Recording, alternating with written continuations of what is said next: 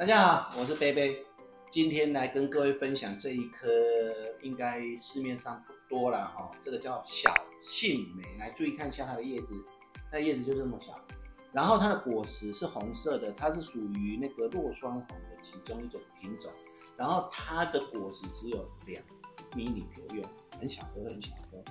那今天我要来做环状剥皮，然后要包水草。那因为小杏梅它的根系是非常的细哦，非常的细，所以它也不容易出根。我也是必须要先把它环状之后给它放着，让它去增生组织。但是这个已经一年了哦，你来看一下，一年了哦，哦，增生组织还是没有很多。我今天把这个水线切割开之后，我就要来包水草了。那至于它能不能够存活？就看我接下来的照顾了，好吧？我们今天来操作一波给各位看的，连起来的水线先把它割掉，来，先把它割掉。哦，不，因为水线你只要被它连起来就完蛋了。OK，割掉，割掉，割掉，绝对不能够让它连成一线。应该很很多人都不知道有小杏的这个东西哦。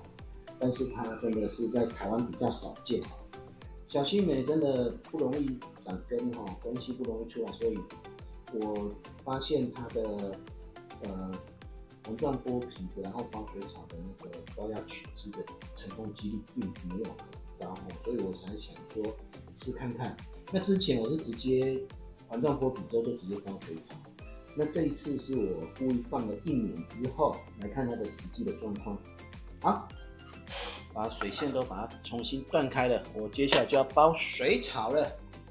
好了，我们就开始来包水草。那因为这个不大哈，所以我就用塑胶布来包就好。好，来，先把底部撑好，不要让它漏掉就好了哈。先把漏斗形做出来，到时候来装填我的那个有比例的水草。好了，你看，如果这次取成功的时候，你就看到这个是一个双干 V 字形的，哇，这个又变成是一个到时候是一个大火序的。所以你要那个高压取汁的时候，最好是能够取一些真的是有形的啊。你取那个没有形的，一只长长的，说真的也没有什么太多的一个造型，其实我觉得不如不要取啊。我个人的想法是这样子，不代表每一个人啊。只是分享一下我自己的工作的一个过程跟经验，好来。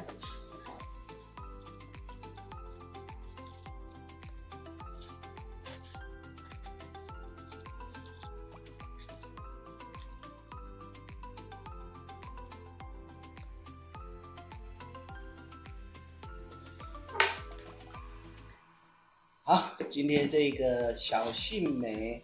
的一个环状剥皮，算是给它进入一个新的时间的开始。希望它秋天的时候，它就可以长满根系。希望了哈，因为我也还没有真正的去给它很有勇气的说百分之百。因为小细米确实，我去年包了一些是二分之一的成功率而已，因为它出根没有很快，然后它根又很细，所以成功率没有。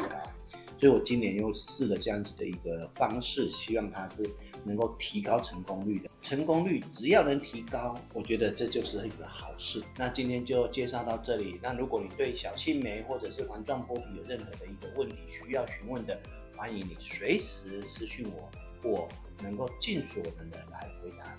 好了，谢谢大家，拜拜。